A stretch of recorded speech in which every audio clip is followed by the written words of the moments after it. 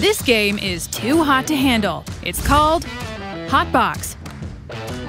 In this small-sided game, we're helping players learn to switch the point of attack by putting a big ol' obstacle in their way. Use four cones to create a rectangular grid with a goal or pair of cones on each end line. Then use four more cones to create a square in the center of your grid, also known as the hotbox. Divide players into teams of three, four, or more.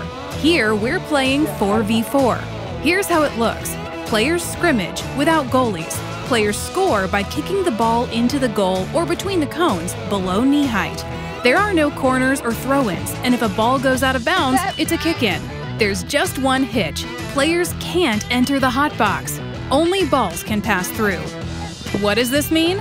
Attackers with the ball may find their path blocked by defenders with the touchline on one side and the hot box on the other, giving them less room to maneuver. The solution? Switch the point of attack by sending the ball to a teammate. Play 5-minute rounds. The team with the most goals wins the round. Coaches, this is a great time to reinforce techniques you've introduced during practice, like small group attacking. But don't overcoach. The rules of the scrimmage naturally push players to solve problems on their own in a fun way. Remember, heads up, find a teammate, keep out of the hot box. Seriously, is it getting hot in here? Break out the board shorts and sunblock. We're playing oh, Hawaii. Yes, here we go. A small-sided game is a scrimmage with a twist. In this one, we're helping players work on shooting from a distance and transitioning between attacking and defending. Use cones to create a square space, then place goals or pairs of cones about 5 yards back from your grid, two goals on each end. Divide your players into two teams, one in pennies. You can play 3v3, 4v4, or 5v5. Here, we're playing 3v3. Here's how it looks. Players scrimmage without goalies. Players can score on either goal on their end line, but they have to shoot from inside the grid. The idea is for players to hone their shooting accuracy in the midst of a chaotic, fast-moving game. Don't worry about throw-ins or kick-ins. Just keep a bunch of balls next to you, coach, and keep feeding them in. We want players looking up to find the nearest goal as soon as they receive the ball, then seeing if they can take a shot right away. But they'd better move fast because a smaller space makes the defender's job a lot easier. Expect plenty of turnovers, with players transitioning frequently between attacking and defending. Just add that to the why this game is great pile. Coaches, embrace the chaos and fun in this game and consider resisting the urge to correct your players or give immediate feedback. Sometimes the best coaching is observing. Remember, look for the goal, win the ball, take the shot. If you close your eyes, you can almost smell the ocean breeze. Ball, check. Cones, check. Abacus, check. This is flying numbers. Here, players practice attacking and defending with different levels of support. Use four cones to mark your space with goals on both sides. Divide players into two teams, one in pennies who stand to either side of you along the touchline. Ready? 1v1! Here's how it looks. You call out a number combo like 1v1 or 2v2, and each side sends in that number of players to scrimmage. Ready? 2v2! Play! Here, mine, I'm behind, I'm behind.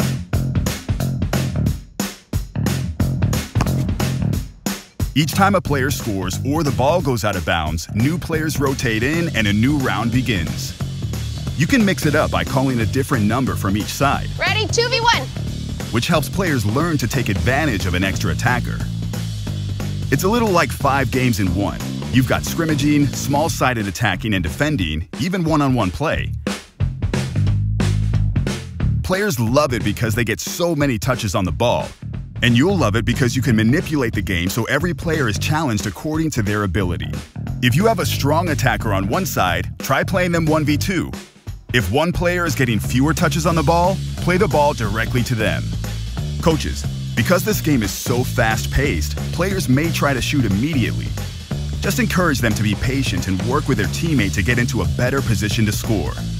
Remember, attack as a team, look for the goal, and find a good position to score. There is strength in numbers. They say leave no man or woman behind, but in this game, you actually have to. We're playing half and half. Like other small-sided games, this one looks like a scrimmage, but it has a twist. Here, we're helping players learn to spread out when attacking. Those who do will be richly rewarded. Use cones to set up a rectangular grid and place a goal or pair of cones on each end line. Place more cones down the center of your grid, right across the midpoint of the field. Divide your players into two teams, one in pennies. You can play 3v3, 4v4, or more. Here, we're playing 4v4. Here's how it looks. Players scrimmage without goalies. Players score by kicking the ball into the goal or between the cones below knee height. There's just one catch. The goal only counts if the attacking team has at least one player in both their attacking and defending halves. What does this mean?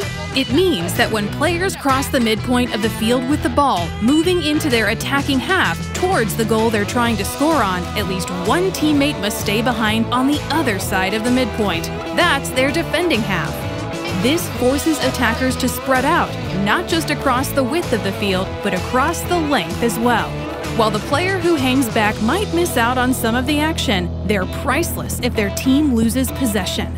Coaches, like any muscle, this instinct takes time to develop too. Remind players to look for the best position to support their teammates at any given time. Remember, win the ball, spread out, take the shot. A little balance in both halves goes a long way. In this one, we're taking a little inspiration from basketball to help your soccer. This is half-court soccer. A small-sided game is like a scrimmage with a twist. In this one, we're working on team attacking and defending skills while squeezing the game into half the space. Use cones to create a rectangular grid that's wider than it is long. On one end, add more cones to form a line. This will be your check line. Place your goal on the other end. Divide players into two teams, one in pennies. You can play 3v3, 4v4, or more, plus an optional additional player as goalie who rotates. Here, we're playing 3v3 plus a goalie. Here's how it looks. Players scrimmage, but both teams are trying to score on the same goal, just like in half-court basketball. The other rule we're stealing from hoops? If a team steals the ball, they need to clear it by dribbling it across the check line, like that, before they attempt to score. In other words, no quick steals and shots from close range. Other than that rule, we're working on the same skills as in other scrimmages, for attackers to spread out and work as a team to beat defenders. And for defenders to make a quick approach to the ball, then to get low and slow as they get close. Coaches expect things to get a little congested since both teams are going for the same goal. Encourage your players to think of the check line as an opportunity to work on their passing skills and to use their shielding skills to maintain possession of the ball, like that, as they clear the ball and make their plan of attack.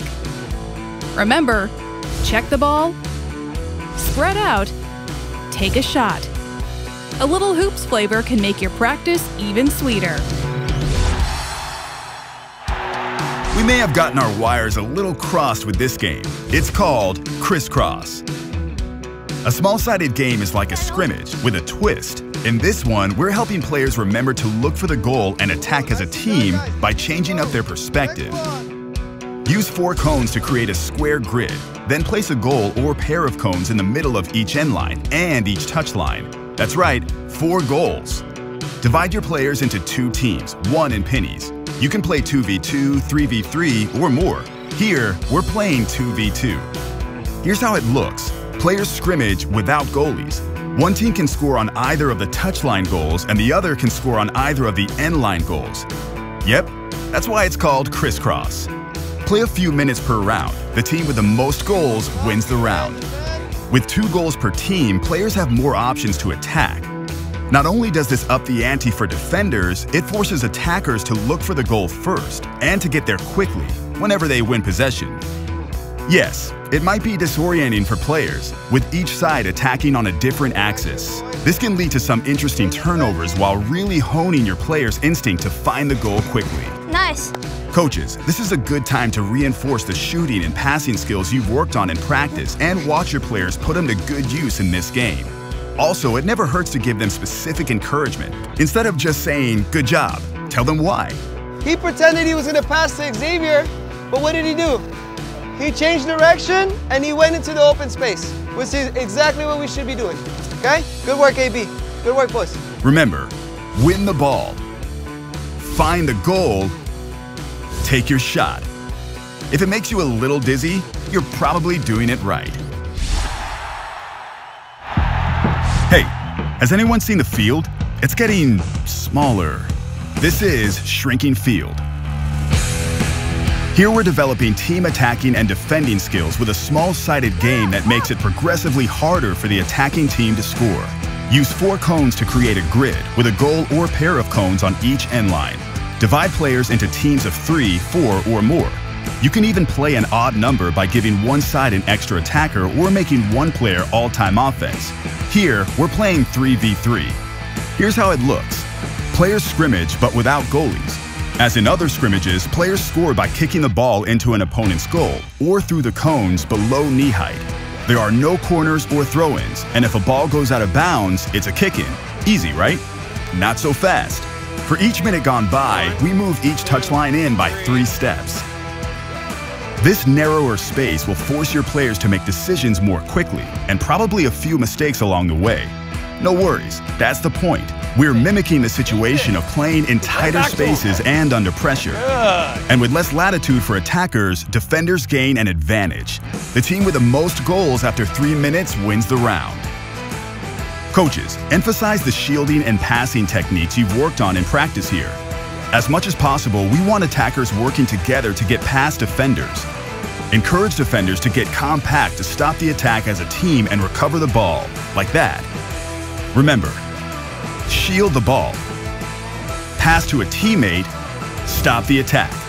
Say hello to our little field. No player is an island, except in this game, where they kind of are.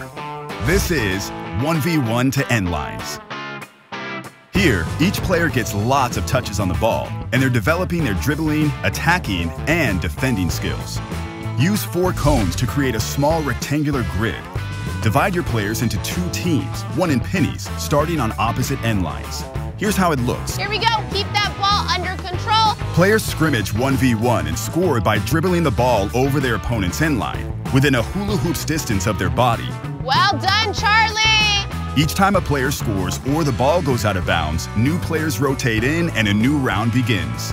Well done, Sasha. There's no shooting here. Yes, we know that's the fun part, but this helps players learn to control the ball, and it gives defenders more of a challenge. Go shooting. Don't let her turn. Players love this game because they get so many touches on the ball and even more room to score, and it's fast-paced. So even if you have players waiting, they'll rotate quickly and appreciate the chance to catch their breath. Coaches, if players are unevenly matched, pair them off by ability instead, or play the ball directly to a less skilled player. This way you can challenge each player to the level of their ability. Remember, use your speed, protect the ball, maintain control. Where they're going, you don't need goals. If one goal is never enough, we've got the game for you. This is Five Goal Game. Here we're working on attacking skills and finding a new attacking path when the one you're on gets blocked. Use four cones to create a rectangular grid and use pairs of cones placed arm's length apart to create a goal in each corner, plus a fifth goal in the center. Divide players into two teams, one in pennies. Here's how it looks. Each side sends in an equal number of players. You can play 3v3 or 4v4. Here we go. You play in the ball and whoever gets to it first is on the attack. Players try to pass the ball through any goal to a teammate to score. Doesn't matter which direction, as long as it finds a receiver. That goes for the goal in the center too. This makes it extra tricky for the defending team. They have five different goals to protect and the only way to gain possession of the ball is to intercept or steal it. The attackers, meanwhile, have to adapt quickly to pressure by changing the goal they look to attack. If turnovers aren't happening naturally, play short rounds and switch roles to ensure all players get turns attacking and defending. Coaches, teamwork is key here. Remind attackers without the ball to keep moving. We want them finding open space near a goal so their teammate can find them to pass or score. Remember, pass to score, find open space, Find a new path. Now you know what every goalie's worst nightmare looks like. No, it's not a mistake. Hear us out. This is Team Handball. Yes, we're breaking the cardinal rule of soccer. You can use your hands. This game helps players learn attack positioning and, added bonus, promotes teamwork by requiring an assist to score. You'll need four cones to mark your space, with goals or pairs of cones on each end line. Divide your players into two teams, one in pennies. Players use their hands to pass and catch the ball. They can run while holding the ball, but only for three steps. Then it's time to pass. Players score with their feet, but only after a teammate passes the ball, no dropping the ball to yourself. If the ball hits the ground or goes out of bounds, or if a defender intercepts, it's a turnover. Coaches, using their hands makes it easier for players to keep their heads up so they get a better idea of their teammates' positions and how to move to support each other. Encourage players to mix in some long passes to switch the point of attack. Remember, heads up, find a teammate, assists to score. And no penalties for these handballs.